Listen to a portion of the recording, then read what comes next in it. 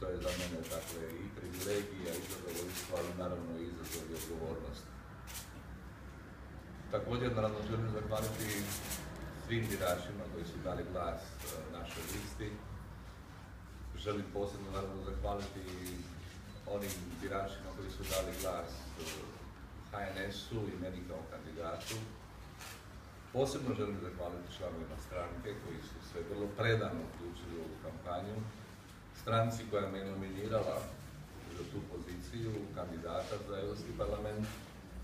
Posebno predsjednici stranke koja je vrlo angažirano tumačila moj životni politički put i iz toga naravno ovaj, razvijala jednu širu simboliku, ne samo dakle moje osobne priče, nego zapravo priče Hrvatske kao zemlje koja ima taj kompliciran, a opet uspješan put na, prema Europskoj uniji i sve onome što zapravo to članstvo u Europskoj uniji znači.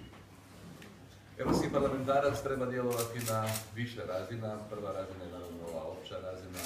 Treba biti kvalitetan u donošenju europskih zakona i oni koji se specifično ne tiču samo Hrvatske, da bi preko toga naravno moglo ostvarivati i biti uspješan i na drugoj razini, a to su posebni nacionalni ciljevi koji se tamo mogu i trebaju ostvarivati.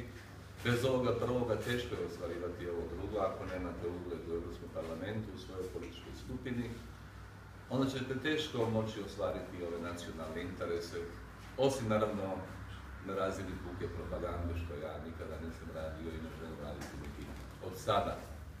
I naravno treća razina je ova o kojoj je Predrag govorio, to je lokalna i regionalna razina.